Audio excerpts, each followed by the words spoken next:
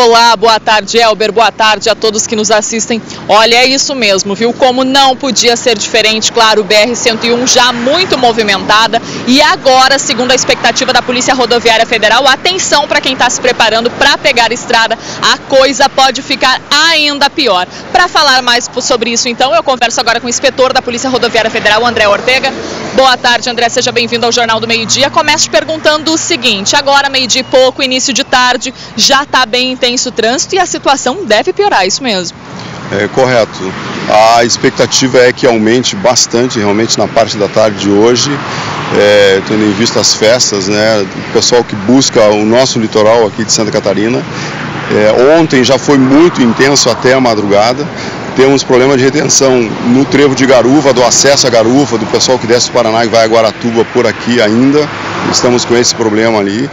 É, no entroncamento com a 470, que é então chegando, navegantes, né, chegando Itajaí, muito intenso ontem o trânsito e hoje deverá ser também da mesma forma ou mais. Né? Então pedimos mesmo cautela ao motorista, ao condutor, que ele tenha paciência para ele fazer esse, esse final de ano, né, ida e volta né, para sua casa. São Francisco do Sul também bem complicado, né? Ortega, o pessoal também deve enfrentar um trânsito bem movimentado. Né? Bem complicado. Ontem nós tivemos trânsito uh, na BR-280 até a madrugada também. É, o pessoal é, buscou um horário alternativo, mas também causou trânsito bastante grande lá em, em São Francisco, em direção a Enseada e Barra do Sul. E hoje já começou cedo pela manhã e deverá intensificar na parte da tarde esse trânsito.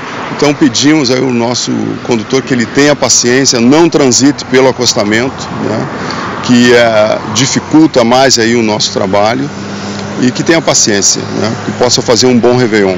E se a saída já está tumultuada, a gente conversava um pouquinho antes, a volta tende a ser ainda pior. Pedimos mesmo cautela e paciência, tire o pé do acelerador, não transite pelo acostamento, porque o retorno no domingo vai ser muito intenso. Muito obrigada mais uma vez pela tua participação. Eu volto com você aí no estúdio, Elber, pedindo, então, principalmente, gente, paciência, seja onde for. O importante é ter uma boa virada, né, para que sobrem apenas boas lembranças desse período. É com você, Elber.